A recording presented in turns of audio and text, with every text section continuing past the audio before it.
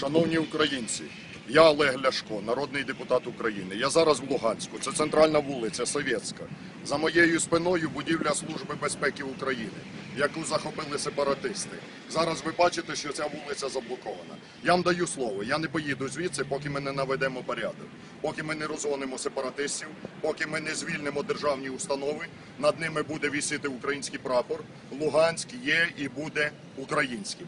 Нікому, ні агентам російських спе- спецслужб, ні сепаратистам ми не дамо розвалити нашу Україну. Я всіх політиків, я всіх громадян, патріотів, жителів Луганська області, усіх, хто хоче цілісності і єдності України. Я запрошую сюди захищати нашу рідну Україну. Кожен, хто дбає про майбутнє країни, повинен бути зараз на передовій в Луганську, в Донецьку, в Харкові. Слава Україні! Слава українському Луганську! Ми переможемо!